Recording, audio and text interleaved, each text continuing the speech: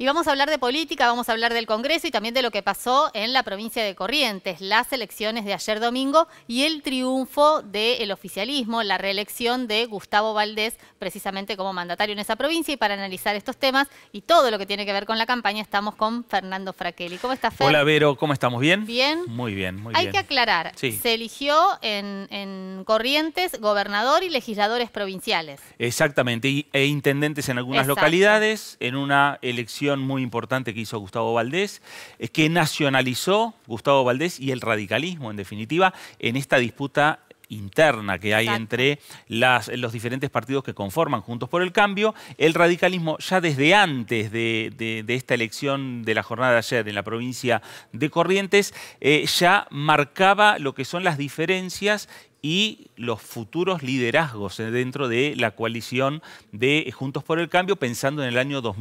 2023. Y es ahí donde eh, el desembarco de las principales figuras que tiene la Unión Cívica Radical, el caso de Facundo Manes, el caso del gobernador de la provincia eh, de Jujuy, eh, Gerardo Morales, el caso de Ernesto Sanz, el También. expresidente del radicalismo, de eh, Cornejo, el presidente de la Unión Cívica Radical, y que ahora también es candidato.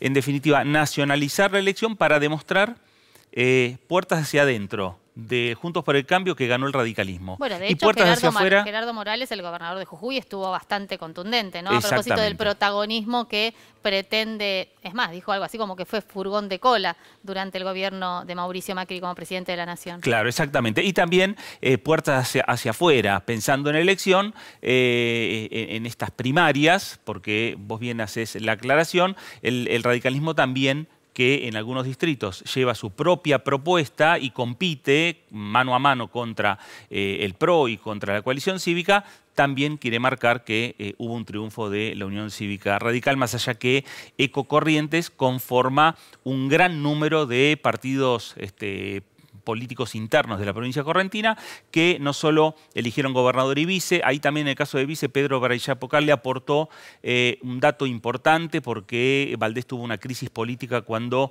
eh, Gustavo Canteros, su vicegobernador, eh, renunció Sí. y este, se fue a al frente de todos y fue a ser candidato a la Intendencia de Corrientes, que terminó perdiendo. Eh, al designar rápidamente candidato a vicegobernador a Pedro Barayapocar, hoy senador nacional, eh, terminó, digamos, solucionando y cubriendo lo que es esa, esa crisis política interna. Bueno, resultados eso en la provincia de Corrientes, ahora tenemos que esperar qué es lo que pase el 12 de septiembre, porque Corrientes vuelve, claro, vuelve a claro. votar en la elección nacional. Se eligen tres diputados nacionales en la provincia de Corrientes y se elige, eh, Corrientes es una de las ocho provincias que elige senadores nacionales. Exacto. Y ahí hay una disputa fuerte, veremos si el resultado de hoy también se traslada a la elección nacional, veremos qué es lo que pasa, eh, pero el Frente de Todos pone en juego dos bancas de senadores nacionales y el- el- la Unión Cívica Radical o el oficialismo correntino pone una sola banca,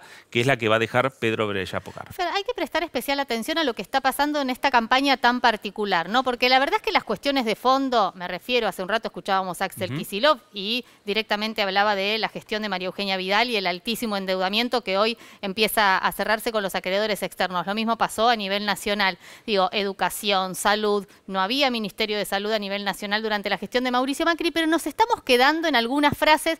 Digo esto porque se está hablando mucho en redes sociales, obviamente también en los medios, sobre esta frase que pronunció la primera candidata a diputada nacional del Frente de Todos, Victoria Tolosa Paz, diciendo que en el peronismo se garcha.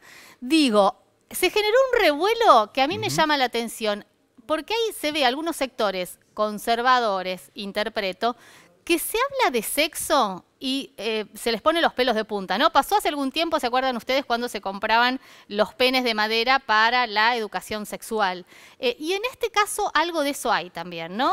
A ver, eh, tiene que ver en parte con, tiene que ver con lo que vos estás señalando y tiene que ver también con esta campaña atípica que estamos viviendo. No solo campaña atípica por el momento atípico del mundo que se vive de hacer una elección en el medio de la pandemia. Y después una campaña donde, como la renovación es legislativa, no se habla de tantas propuestas. Claro, las cuestiones de fondo pareciera que no se están se dejan para más adelante. Eh, entonces, eh, se toman eh, frases, se toman imágenes, se toman videos de los diferentes este, candidatos y es ahí donde termina la discusión fuerte en dónde? En el lugar donde se está haciendo la campaña, que es en los medios. Es interesante también, Fer, a propósito de esta frase de, Victoria Tolosa Paz, ponerla en contexto, ¿no? Fue en un canal de YouTube eh, con Pedro Rosenblatt y, Richie Musi, digo, un, público joven, pero además hay algo con la democratización del goce, ¿no? En algún momento habló Daniel Santoro, el pintor, eh, artista plástico, y hablaba precisamente de la distribución de,